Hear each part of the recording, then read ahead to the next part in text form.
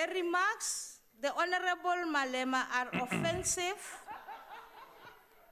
and derogatory to a fellow member of the House.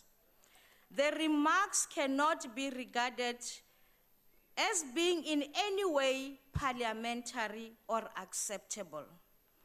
Honorable Malema, will you please withdraw the remarks that Honorable Ramaphosa was engaged in the conspiracy to commit murder and that he is a murderer?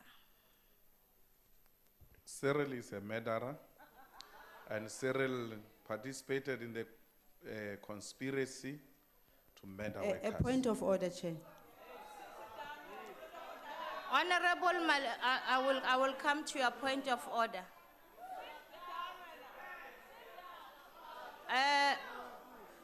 Honorable member, please, let me finish with honorable, I'll, yeah, I'll call, I'll, I'll, I'll, I'll recognize you. Please, Honorable Zulu. Honorable Malema.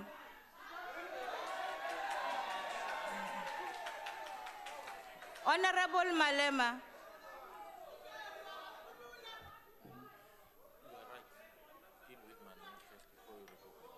Honorable Malema, in other words, I ask you to withdraw. You reiterate what you said. And in this August House, you repeat that Honorable uh, Deputy President Ramaphosa is a murderer. Are you going to withdraw, Honorable Malema?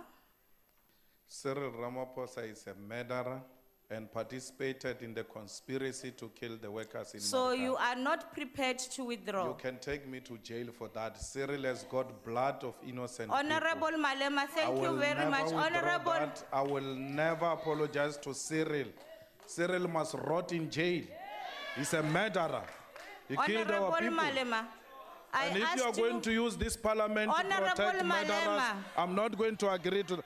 So why do you switch off my mic I if you want me to speak? I don't want you to speak. I asked But you why to did do you one ask me to stand up? Why I- did you ask me to stand up? Because I asked you to But withdraw. switch on the mic. No, no, I'm not going So to do that. So I'm not listening to you also. you Honorable want to listen Malema, will me. you please leave the house? I'm not leaving. Will you please leave leaving. the house? I'm not leaving.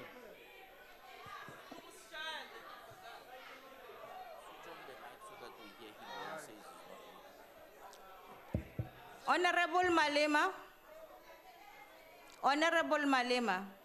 Call those people to come and remove me. Honorable Malema. Those bouncers you have I'm not hired there. to come and kill us here. In the same way you kill Honorable people in Malema. Marikana.